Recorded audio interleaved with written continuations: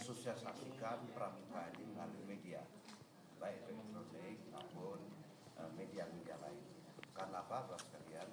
Bahwa pramuka ini sebetulnya adalah suatu wadah pembentukan karakter anak bangsa. Nah, akan tapi tentu saja pramuka ini masih banyak juga yang belum mengetahui hakikat tujuannya visi misi. Nah, oleh sebab itu dan melalui media Seripo dan Tribun ini kita mengharapkan bahwa kegiatan-kegiatan pramuka ini dapat tersebar kepada masyarakat, dapat tersosialisasi kepada masyarakat.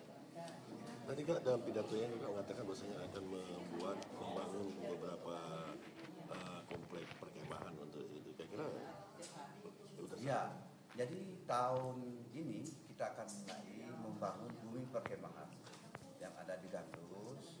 Dananya dari mana? Yaitu dari Gubernur Sumatera Selatan, dari APBD Sumatera Selatan.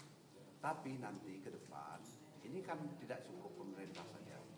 Nah, oleh sebab itu, bahwa kami merencanakan menjaga workshop atau bersilaturahim kepada beberapa BUMN besar dan BMS besar di Sumatera Selatan kita tidak meminta tapi kita tawarkan bahwa ini dia pemimpin kita dan apa sumbangsi yang diberikan oleh